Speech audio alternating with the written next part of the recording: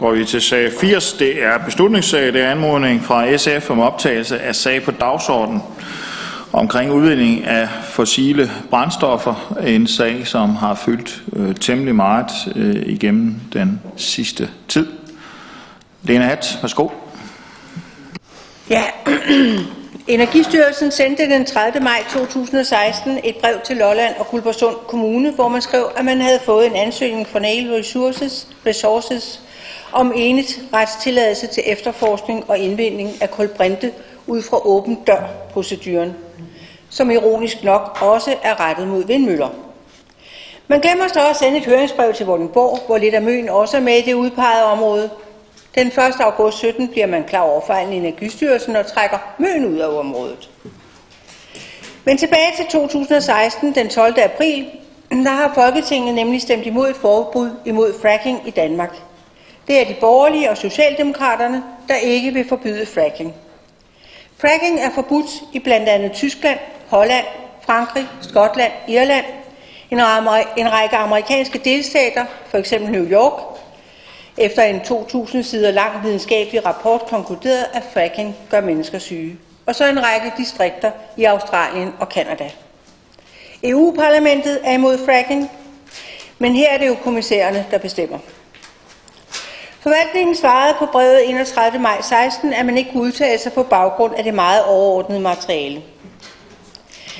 Da det ser ud til, at Energistyrelsen vil give tilladelsen her i forsommeren 17, sender borgmesteren og udvalgsformand Flemming Jansen den 27. juni et brev til energiminister Lars Christian Lilleholdt, hvor man op, Lilleholdt, det er ikke at veksle, hvor man opfordrer til, at der gennemføres en grundig høring af de to kommuner.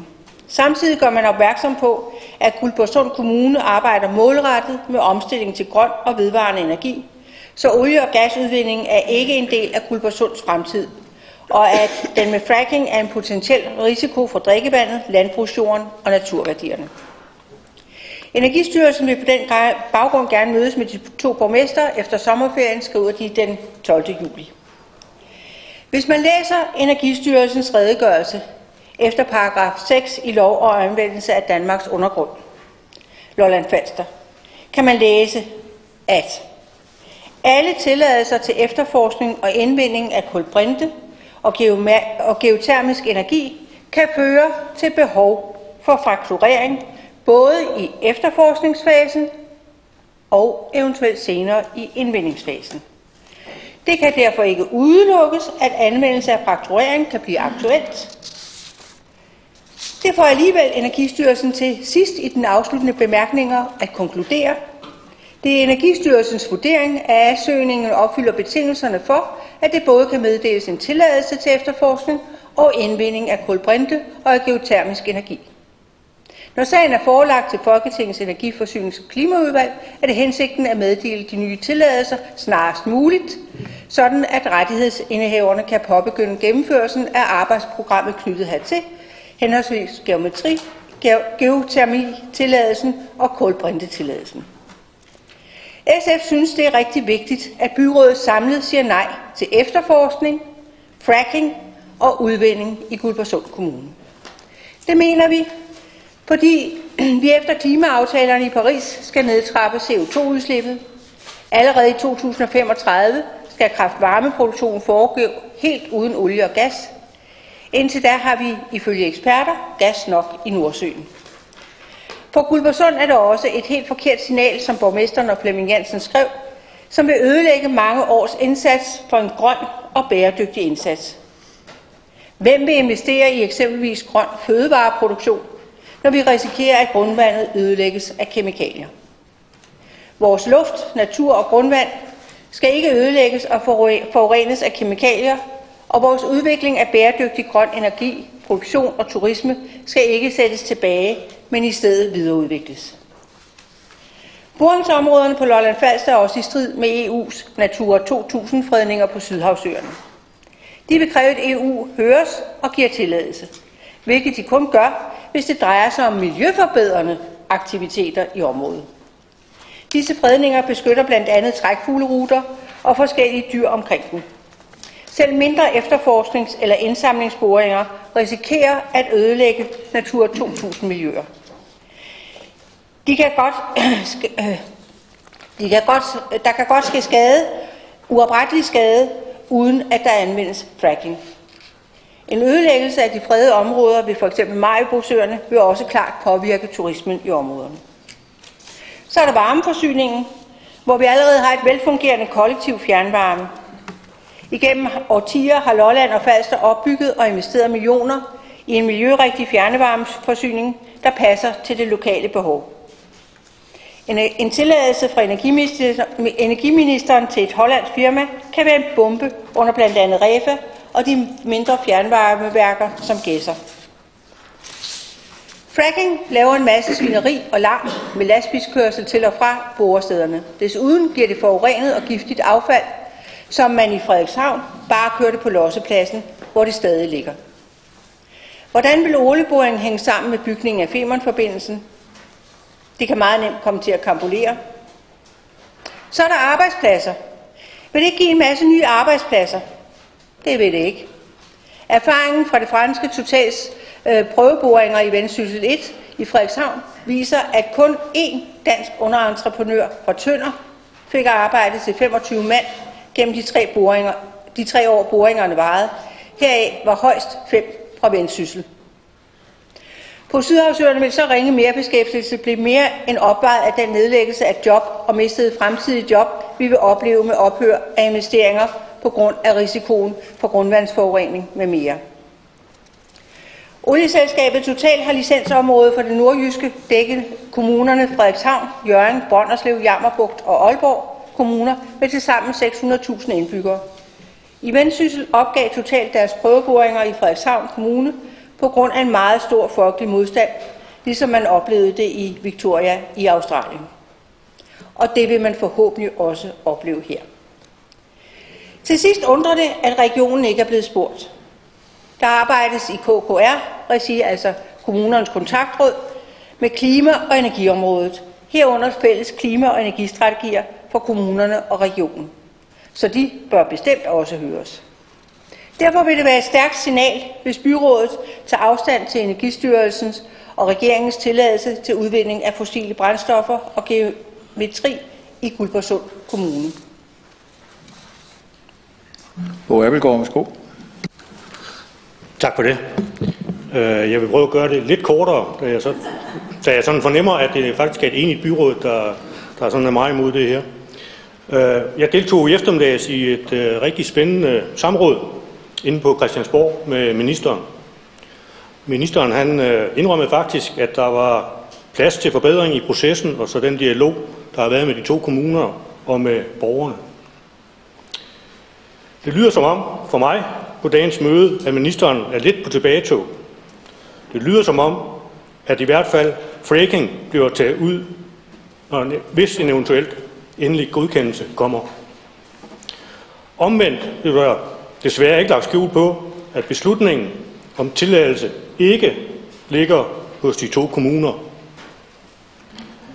Derfor er det så også vigtigt, at der er et møde her den 22. med de to borgmestre, som forhåbentlig kan få klarlagt nogle ting sammen med Energistyrelsen og ministeren. Jeg mener, det er i den her sag, at det er på Christiansborg, øh, at den her kamp, den langt hen ad vejen, den skal kæmpes. Det er viser i den her sag, at det er meget vigtigt, at vi etablerede partier har en direkte adgang og kontakt inde på Christiansborg. Og vi skal her i den kommende tid, der skal vi øh, fortsætte med at presse alt det, vi kan så vores kære folketingspolitikere træffer de helt rigtige beslutninger. Og det lød i hvert fald også på samrådet, som om at vores to lokale folketingskandidater, øh, René Christensen og Lennart Damsbo Andersen fra Socialdemokratiet, de er villige til at kæmpe for det her. Så med de ord, så støtter øh, den socialdemokratiske gruppe SF's forslag. Lærker Thomsen. Ja, tak. Først lige uh, tak til SF for at i al hast få sat sagen på. Det var godt, at det nåede at komme med. Dernæst så vil jeg lige sige tak til de mange bekymrede borgere i både Lolland og Guldborgsund kommuner, der har sluttet sig sammen i initiativ- og aktionsgruppen 0 huller, nej til olie, gas og fracking på Sydhavsøerne. 0 huller er jo dannet som en bred og åben bevægelse, bestående af enkeltpersoner, græsrådsbevægelser, partier og alle med samme dagsorden. En klar afvisning af enhver form for efterforskning efter olie og gas på Lolland og Falster. Og derudover tages der absolut afstand fra anvendelsen af fracking. Gruppen har været i gang hen over sommerferien med oplysning, vidensindsamling, vidensdeling, underskriftsindsamling, demonstrationer og lyttemøder, og senest jo lige her før byrådsmødet med en øh, lille protestting med sang og fanisering og overraskelser til borgmesteren. Enhedslisten Guldborgsund har fra starten deltaget i og bakket aktivt op om borgerinitiativet. Vi opfatter protesten her i dag som et klart signal til Guldborgsunds byråd og borgmesteren om at slå bremserne i over for energiforsynings- og klimaministeren, åben dørproceduren og Nail Resources, der ønsker at lave huller i vores undergrund.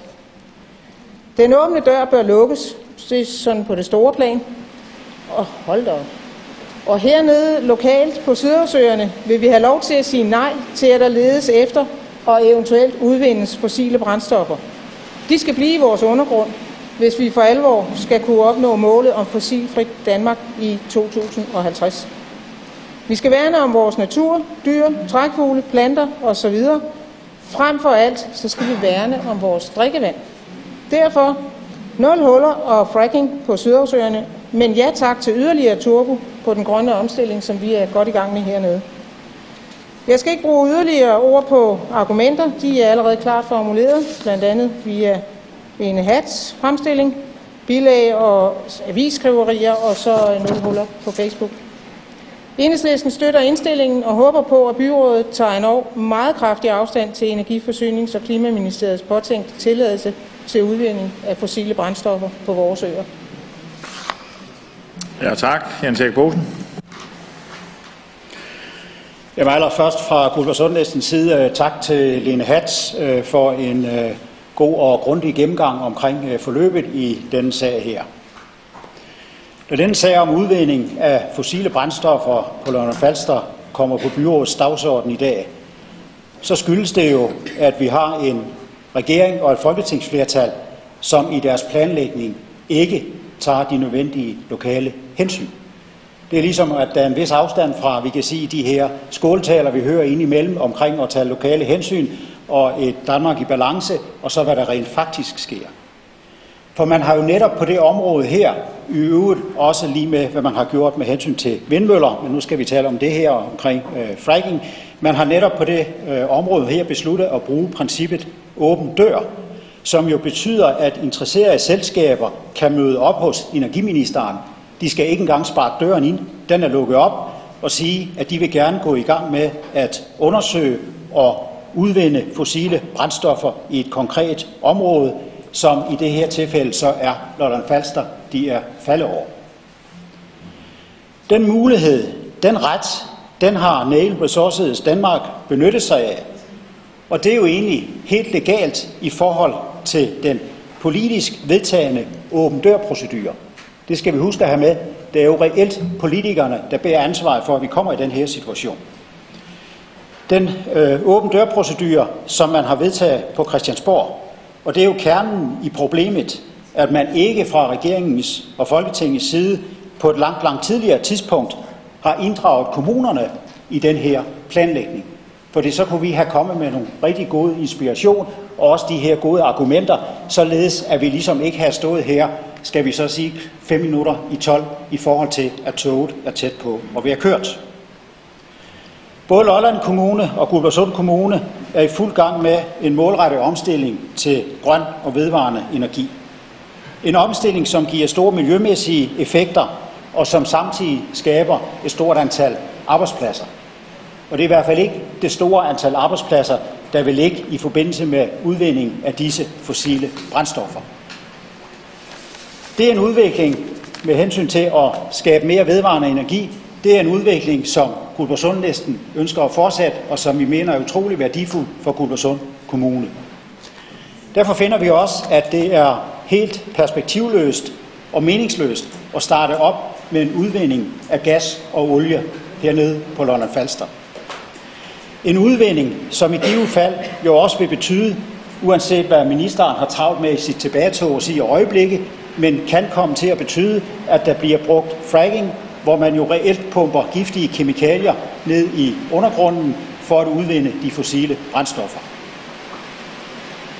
Endvidere er det også således, at Guldborgsund Byråd har besluttet en større satsning på bioøkonomi. Her er over en toårig periode afsat 7 millioner kroner, som på det område her skal være med til at understøtte nogle væsentlige og store private investeringer på området, for virkelig for alvor at rykke os på det område her.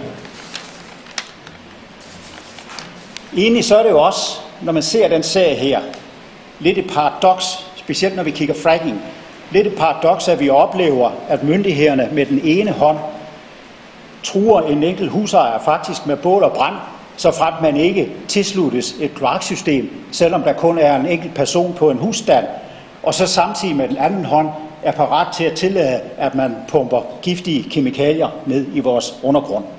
Det hænger simpelthen ikke sammen. Proportionerne er simpelthen ikke på plads på det område der.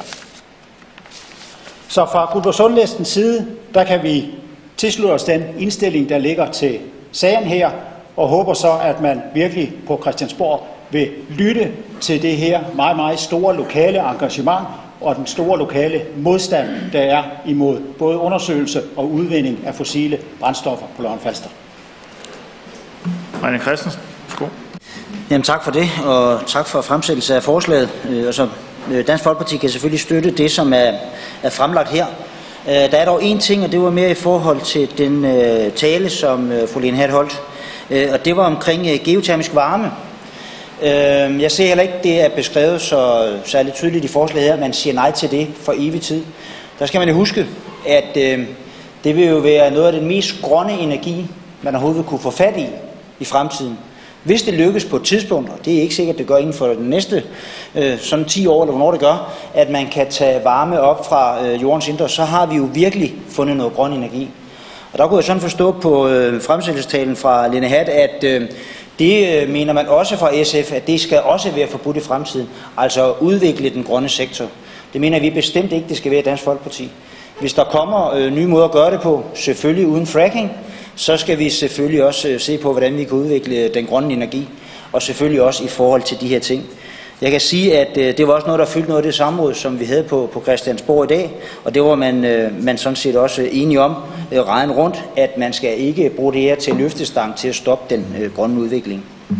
En anden ting, man skal være opmærksom på, det er nemlig rigtigt, som Jens Erik Bosen siger, at beslutningen bliver jo endeligt taget på Christiansborg. Men en hvilken som helst minister, der skal træffe en beslutning, skal jo også have 90 mandater bag sig. Man skal huske, at da man kiggede efter skifergas, blandt andet i Nordjylland, der kunne man jo altså ikke finde et flertal. Og det blev faktisk et enigt folketing, som sagde, at øh, frack, øh, fracking på, på landjorden i forbindelse med skifergas, øh, det var ikke godt nok, og derfor stoppede man det. Så derfor den her fracking-del er jeg nu ikke så bange for, at man ikke skal få, få stoppet det, også på, på Christiansborg. Men mere sådan måske et spørgsmål til Lene Hat, at når vi siger ja til det her, så siger vi ja til det, der står i forslaget. Vi siger ikke ja til at bremse den grønne udvikling i forhold til at finde nye varmekilder. Ja, tak. Lene Hat, værsgo. Ja, øh, til Bente Lærke vil jeg bare sige, at det var nu ikke i alt hast, fordi vi indgav faktisk øh, forslaget til byrådsdagsordenen den 15. juni. Men heldigvis har øh, borgerbevægelsen 0 huller jo holdt gryden i K he, over hele sommeren. Øh, og så vil jeg sige øh, til René Christensen, at øh, det er rigtigt med termisk varme. Det kunne være en god idé, bortset fra, at vi måske kunne få nogle problemer omkring vores affaldsforbrændingsanlæg og sådan nogle ting, men øh, med årene kunne det være en god idé.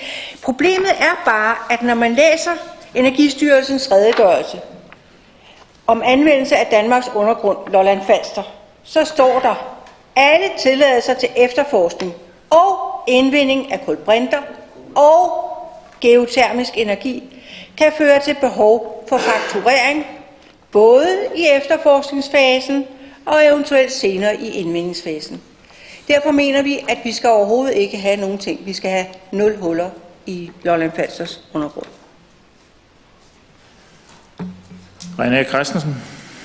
Jamen, det her skal jo ikke blive sådan en diskussion, fordi jeg vil gerne sige, at vi støtter forslaget, for det står nemlig ikke sådan i forslaget. Men det er dog en mærkelig, hvad hedder det, tankegang at have, at hvis udviklingen flytter sig, så skulle et byråd, og det gør vi så heller ikke, for det står ikke i forslaget, allerede nu beslutte, hvis man kommer om 10 år, og siger, at nu har man faktisk fundet en måde at tage varme op af jorden på. Vi kender det jo faktisk. Der er jo masser af små anlæg, der findes i dag med jordvarme til boliger. Kan man gøre det større øh, i forhold til at få grøn energi, så skulle man så hen og træffe den beslutning om igen. Det, der er vigtigt her, det er jo fremgangsmåden, og der er jeg fuldstændig enig, og Dansk Folkeparti er fuldstændig enig med Lene Hat i, at hvis det er fracking-metoden, man skal bruge for at undersøge omkring termisk varme, så skal man ikke søge efter det. Men den dag, at man kan gøre det på en anden måde, så kunne termisk varme sådan set godt være en af de muligheder, som vi har for at leve op til de forpligtelser, som vi gerne vil, altså få et øh, fossilfrit øh, samfund. Der kunne termisk varme godt være en, øh, en mulighed i forhold til det. Og det afskærer vi os heller ikke, øh, hvad hedder det, muligheden for, ved at stemme ja til det forslag i dag. Um, jeg vil tillade mig at konkludere, at det heldigvis er et øh, enigt byråd, øh, som kan bakke op. Øh, vil du sige mere, Lene Hat? Værsgo. Jeg er selvfølgelig meget glad for, at René Christensen og dermed øh, Dansk Folkeparti, i hvert fald i Guldborgsund, er imod fracking. Øh, men vi diskuterer jo ikke om 10 år, René Christensen. Vi diskuterer, hvad der står i den tilladelse, som Energistyrelsen og den øh, øh, redegørelse, de gør, nemlig at termisk varme også, i hvert fald på nuværende tidspunkt, kan risikere at, øh, at, at betyde fracking. Og det er meget vigtigt for os at understrege. Hvad der sker om 10 år, det er der ingen af os, der ved. Det kan være, at det er nogle helt andre øh, øh, vedvarende energiformer, vi skal have. Så vil jeg tillade mig at konkludere, at det er det enige byråd, der kan bakke op omkring øh, det her forslag. Det er rigtig godt, at vi kan det. Og øh, hovedpunktet øh, omkring fracking, det fremgår øh, meget klart. Så skulle der på et tidspunkt blive mulighed for termisk energi, øh, så må man formode, at så kommer det også til at foregå uden fracking. Så vi godkender sagen.